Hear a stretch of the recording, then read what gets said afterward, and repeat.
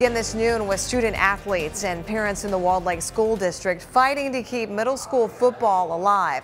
The district stopped fully funding that sport back in 2014 and now more than $11,000 is needed to cover coaching costs, field maintenance and repairs for equipment. Parents have since started a GoFundMe page to raise some money, but they're frustrated it's come to this. I think it's absolutely horrible. These kids need something to do. They need to participate in sports. It gives them discipline. It gives them team team effort.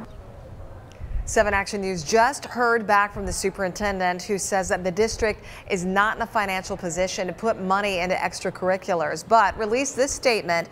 We support the parents' efforts to fundraise and hope they're successful.